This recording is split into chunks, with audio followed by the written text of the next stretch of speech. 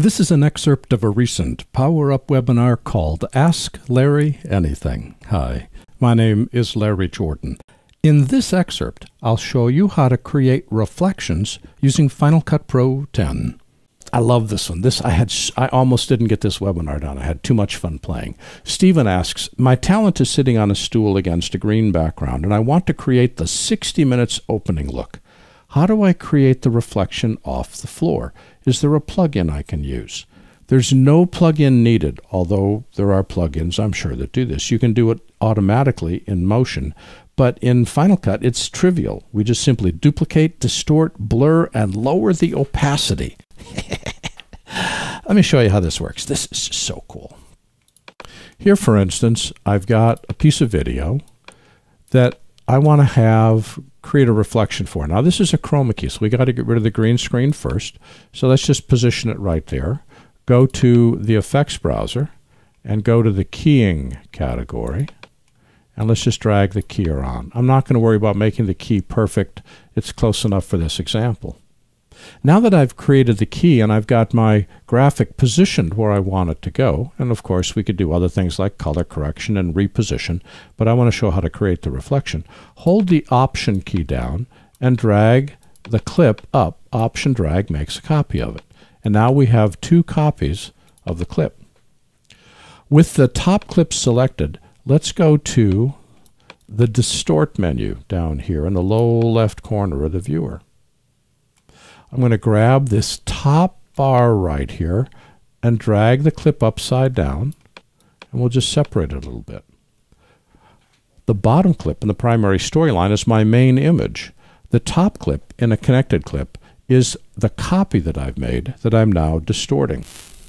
With that copy, I'm going to again select the clip, go up to here and say that I'm done with this.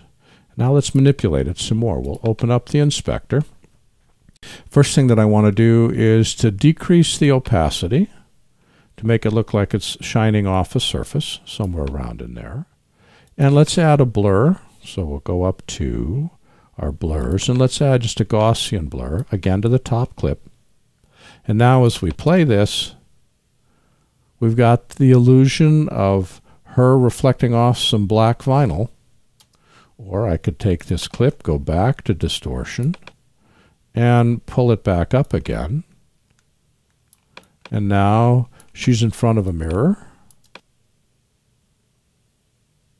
Or I can pull it over to here, take this, stretch it out.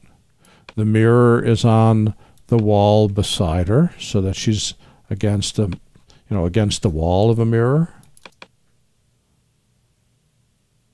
Is that not cool? Easy, easy, easy to do. To reset it again, just simply select the clip, go up to the inspector, go down to where it says distort, and click the go back button, and now the distort back to where it was. Again, turn it upside down, put it where you want.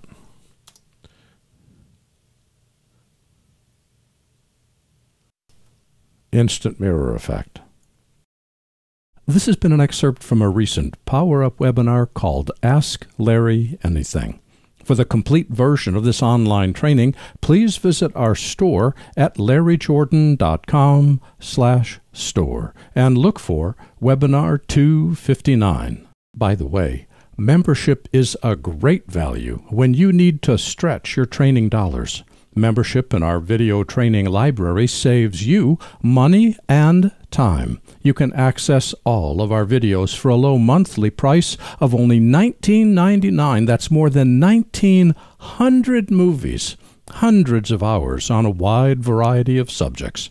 Plus, premium members can download practice media and projects.